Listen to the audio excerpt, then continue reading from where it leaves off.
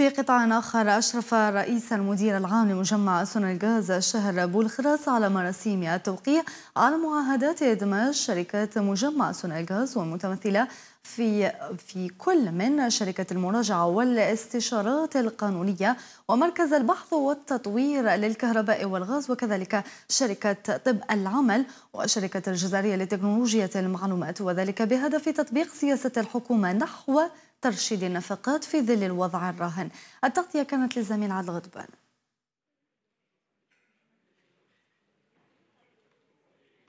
هي اليوم في هذا حفل تاع ترسيم معاهدات الاتفاق من أجل اندماج فروع شركات فروع مجمع آه، سوناغاز ونعاود يدخلوا في الشركة الأم.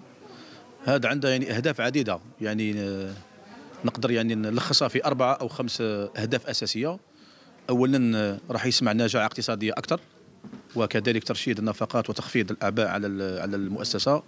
راح يسمع المجمع كذلك سونلغاز باش يعاود يتمركز ي se reconcentrer على يعني النشاطات القاعدية تاعو اللي هي الإنتاج توزيع ونقل الكهرباء وكذلك الغاز وتلبية الطلب وتأدية مهام المرفق العام والخدمة العمومية على أحسن وجه وبطريقة أفضل وبطريقة أحسن.